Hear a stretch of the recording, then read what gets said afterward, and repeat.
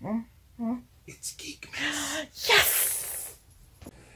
Merry Geekmas! Ho ho ho, nerdlings! Do you nerd for holiday themed geek culture?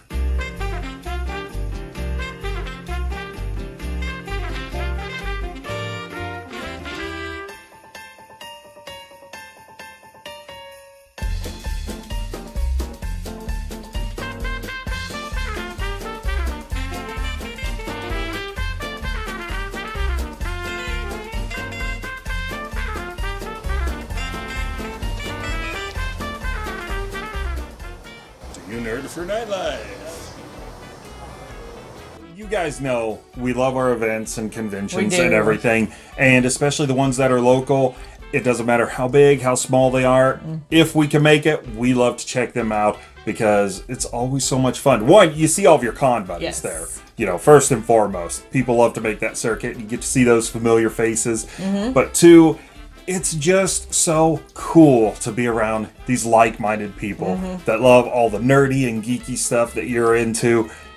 The energy is seriously the best part. And we were actually invited to come along to Geekmas 2019. We've got some local uh, geeky groups, Fanatics and the Fan, as well as Pop Goes the Culture. They were putting this on. We saw some uh, some other familiar con faces, We did, we like did. Nerd Informants, uh, our buddy Josh from, Yes, from the from the Cave. Comic Cave. There were lots of vendors on hand.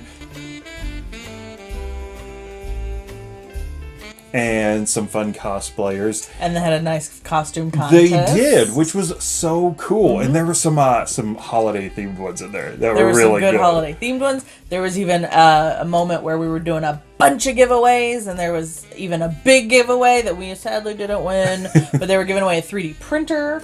Yes! Oh, I win things. So lots So of fun yeah, there on. was lots of stuff going on. Now the space for uh, Geekmas, it wasn't a huge space, but that was honestly fine because let's face it, it took it easy on your feet. It did, and they utilized the space very, very well. They had a Yeah, small space for vendors, then they had a space for gaming, and then they had a space for board games, and then they had a panel room, which was what we got invited to do. We got invited to do another panel there, so that was fun.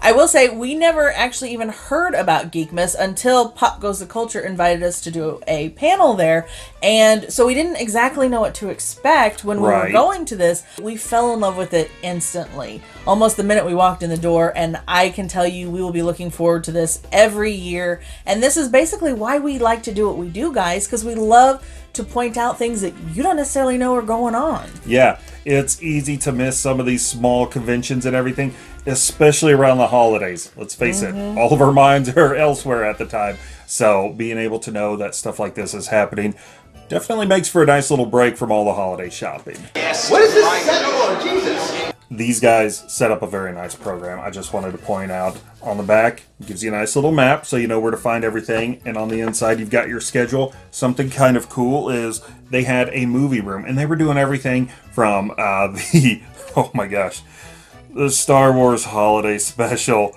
Whip, stir, stir, whip, whip, stir. Whip, whip. Come on, faster all together now. But they had some fun stuff in there, like uh, the Space Ghost Coast to Coast Christmas special, and things like Buffy the Vampire Slayer. You know, things that you know, really envelop all of those fandoms. But of course, they also had uh, some fun little special guests. You know, whether you're into writing, uh, there was some voice acting, and uh, representing collecting. I love seeing Josh's name there. Ah, yeah. And then the times and schedule for the panels. All right, nerdlings, this has got to be your favorite part. Let's check out the pickups. Well, even if it's not your favorite part, it's, it's my favorite part.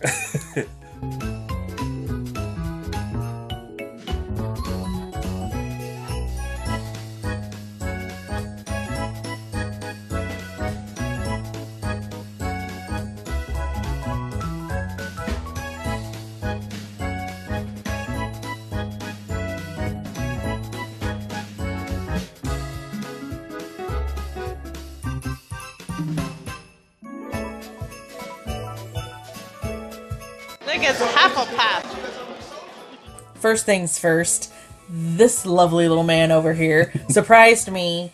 I have been really getting into Pokemon lately, and I've really fallen in love with Mimikyu. Mimikyu and Eevee are my two favorite Pokemons, and um, these were adorable little handmade crafts from our lovely friends at Cami's Creations. And these were so adorable. There was a little tiny one and a big one, and I was having the hardest time deciding between the two, which one to get, which one to get. And of course, she was being a good salesman. She's like, "Well, get them both. You got a travel Mimikyu and then a home cuddly Mimikyu." And I was like, "Oh, I know, but I just don't know." And then he does what he does best, and he just whips out his wallet and goes, "We'll take both." And I can honestly say, I'm sure I was glowing from there because I know my eyes lit up and I was super excited. I got a travel Mimikyu and a home Mimikyu. Was it Banette? And I carried them around like this the whole. She did. And we didn't even have to put them in the barrel. No. And since we've been home, where have these been? uh, right there. Right here, like this. Yeah.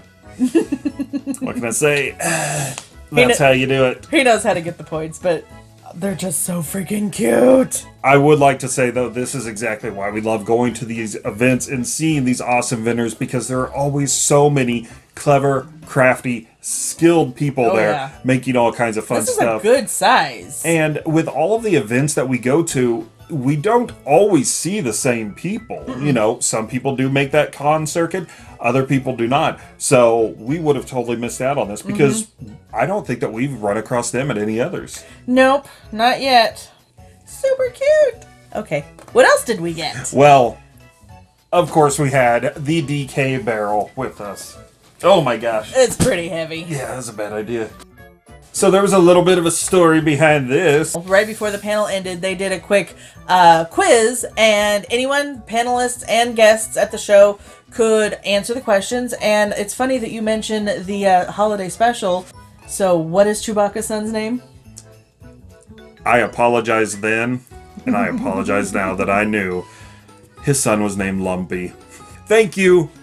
Pop goes the culture. It is a awesome soft blanket. Yeah, this awesome Super Mario Brothers blanket, and I mean, let's face it, you could not have found a better place for this. Mm-hmm. He's so soft. so, this one has a little bit of a story too. now, why don't you hold this because this was this was for you. As the day was coming to an end, after the cosplay contest, they were having a raffle with some tickets that they'd been passing out all day. So they passed out tickets during the day. They passed out some more tickets right before this raffle began, and then they were drawing them randomly. Here's the problem they had so many things to give away, and a lot of people had already left at this point.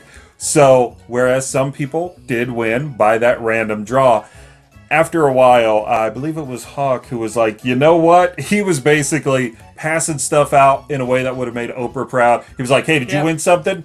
Here you go. Did you win something? Here you go. and one of the things that she got from that Yep. moment.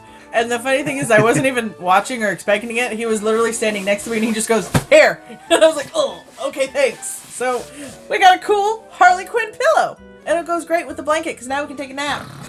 Okay, stop that.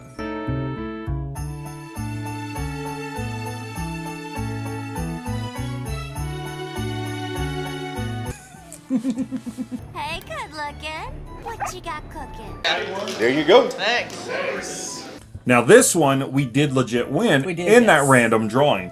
So, this is Warhammer Underworld's Night Vault.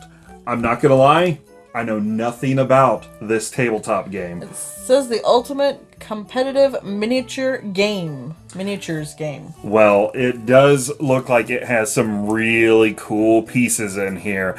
Uh, looks like it is for just two players, so that is Wow. quite a setup for just two And it people. also says build your own character.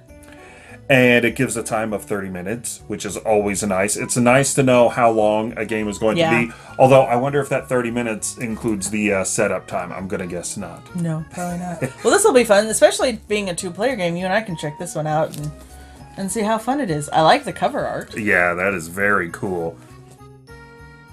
Here, let's do this again. Oh, there was a lot of that going on. This came from the front of the room, though. At least the pillow came from the side. This was at the front of the room and said, "Who hasn't got? Who hasn't won anything yet?" And I just raised my hand, and they threw this at me.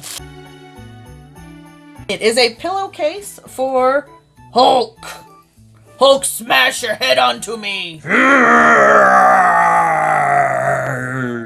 Or apparently a Halloween mask. He's very gurry. The nice thing is it looks like a rough burlap, but it's not actually. Actually, rough. yeah, it is very soft. When you look at this, it's like, ah, it's gotta be scratchy. It's not. Back out on the floor. we made a couple purchases.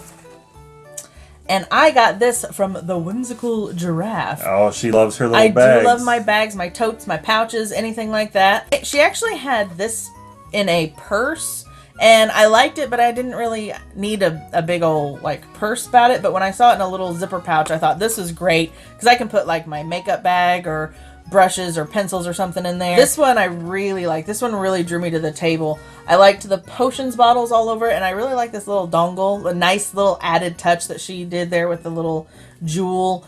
And then and they are lined with a different kind of fabric on the inside, which is always a nice touch. This one's got like cute little bats and cats and bugs and all kinds of stuff. So I thought these would these were really great handmade zipper bags. A new to us vendor was Celestial Embers Art, and they had some really fun and different pieces. Yeah, pieces. they did. I can definitely say I'm going to be keeping an eye out of- of them at uh, any more conventions that we go to. They had some really great pieces. You've got this uh, nice little. What, what do you think? A little fairy house, maybe? Yeah, maybe a little fairy house. At first, originally, I was thinking like a hobbit hole, but it's it's more of a fairy house. Him and I both were really drawn to the small details type things that they were doing, like the little bushes and everything. You've got little flowers on the bushes. The other thing that we were drawn to was this piece right here, and it's like a little. I. This makes me think of maybe in Ireland, like on the coastline. You've got like that. a lighthouse. There's a little well right here. Your little farmhouse and little sheep. And the thing that's so cool about this is the each sheep is like a little individual sheep. His face is an individual, like little black thing. The stones in the well are all um, one little stone at a time on the well. And it's also a neat idea that she just grabbed a rock and you know put the the clay on top of the rock because it gives it you know that a nice hill and everything for it. It's just a really interesting piece. There's just a lot going on with it. And then the thing that actually drew my eye to the table was this adorable teacup. So you know you've just got just a nice antique looking teacup with just a nice little thing on it but when you turn it and look inside there there's a little friend living in there and it's just so stinking cute. You've just got this cute little octopus in there, and you know his tentacles are kind of coming up and out of the the jar. There, he's got some like rocks underneath him. He's even holding like a, I don't know if that's like a air bubble or like a jewel in one of his tentacles, and then they put clear acrylic over it to look like water. And you know his tentacles are even coming out of the water, but it's just, I don't know. There's just something about it that's just so cute.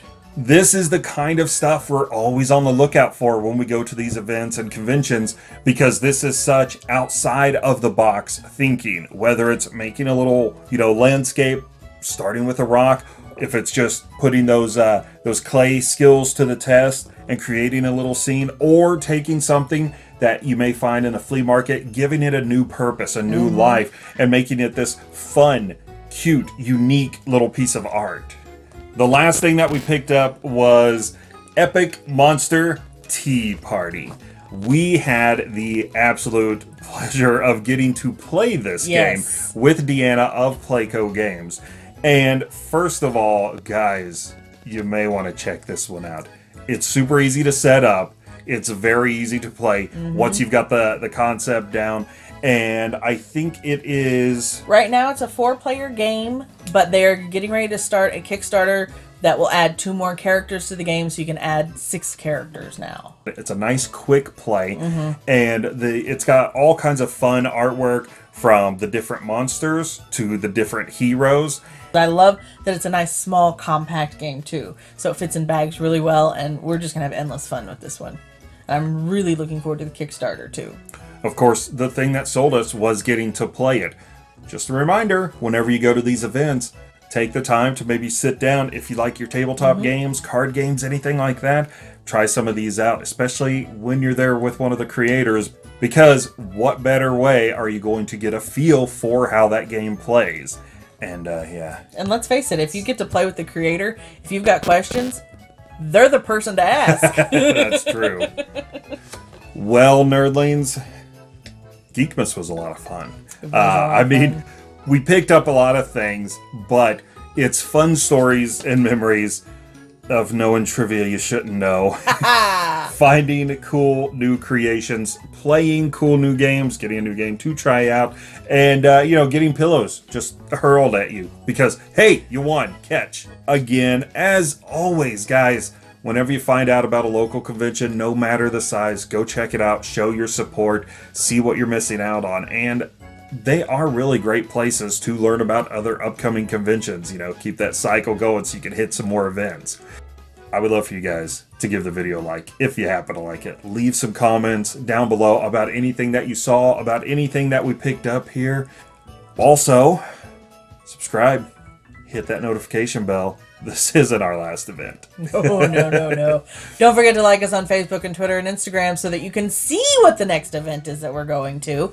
Go over to TeePublic because we've got merchandise over there, nerdlings. And before we go, I would just like to say to everybody, Fanatics and the Fan, Pop Goes the Culture, thank you so much for putting on an incredible event like Geekmas, for getting all of the people that managed to show up, for getting them all there under Yes. one roof, into one room. That was so awesome. We All had of your- such a good time. All of your efforts definitely are appreciated and did not go unnoticed. And hey, thank you for letting us know about it and inviting us along because we had so much fun. Yes. Oh, and uh, one more note.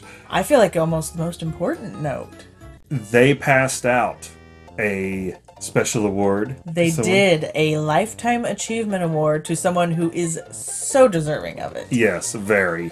Mr. Josh Rogers got the Lifetime Achievement Award because everybody can attest that he has influenced their geekness and their geek culture and their love of anything nerdy.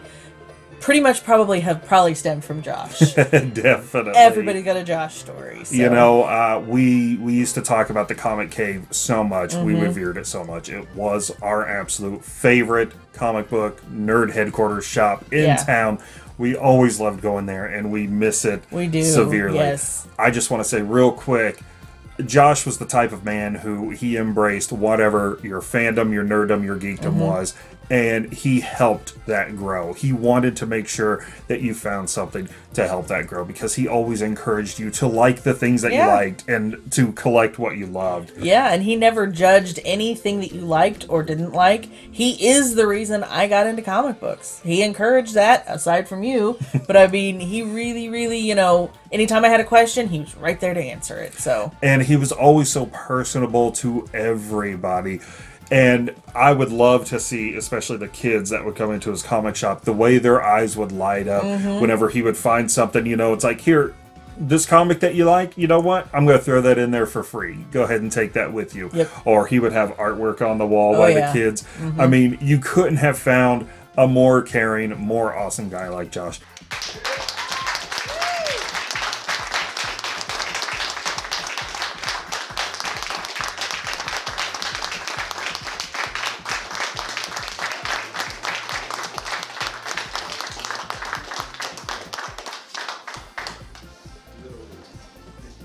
You said it best.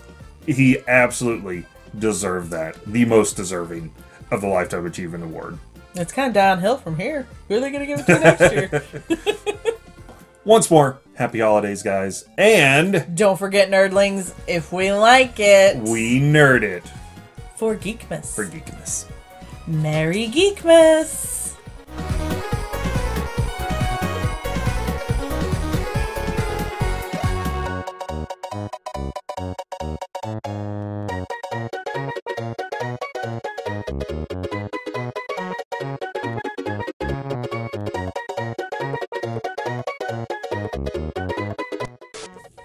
Holiday. No, I don't. okay. Just cut me off. That was stupid. Ready? cut it out, Tom. Because uh what better way to to what am I trying to say? What are you trying to say, Tom? What are you trying to say? You're sitting there at the computer looking at me. Jingle bells!